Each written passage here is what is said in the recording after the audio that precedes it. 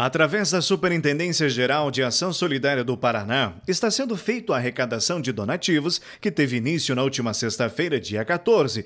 Foi prorrogada para até esta terça-feira. Até o momento, segundo o Boletim da Defesa Civil do Paraná, quase 30 mil pessoas foram afetadas em todo o estado.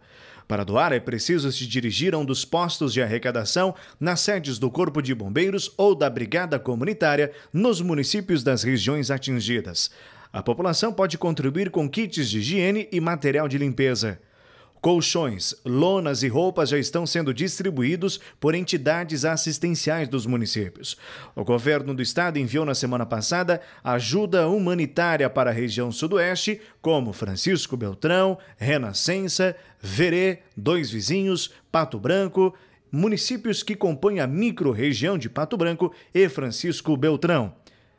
Uma nova atualização da Defesa Civil desta quarta-feira aponta que o número de municípios afetados subiu para 39.